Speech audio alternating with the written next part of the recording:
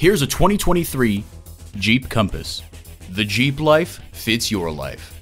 It boasts an impressive list of features, like these intercooled turbo inline four cylinder engine, front heated leather bucket seats, integrated navigation system with voice activation, auto dimming rear view mirror, dual zone climate control, doors and push button start proximity key, AM FM satellite radio, first and second row express open and close sliding and tilting sunroof, wireless phone connectivity, and automatic transmission.